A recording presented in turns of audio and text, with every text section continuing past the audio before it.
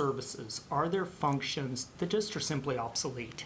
And um, to ask your Ways and Means Committee perhaps to create a small little subcommittee that just works with LFO and the public for that matter to, to just get ideas is, are there services out there that while at one point in time were a great idea, simply are no longer needed? And is there a way to take those dollars and put them into other purposes?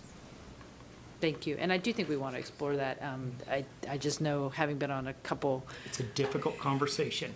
well, just, you know, given the cuts we made during the recession and other things, I, I'd be curious to know what that list might look like at this point, but, Let me give you an example, and this is, this is the silliest of examples, but it is an example. Uh, years ago, this legislature required uh, studying of the Great Potato Famine, the Irish potato famine, and it required school districts to teach that. And as a consequence, uh, it required uh, folks to spend time in that effort. Uh, While that's just a microcosm of an example, and we appreciate it being from the Irish capital of Oregon, uh, it's probably one of those areas that no longer needs to continue. Are there other services or functions that at one time was a good idea, but today we could do it? thank you. Thank you, and I, I think I'll uh, finish with, I have one question uh, back uh, to Senator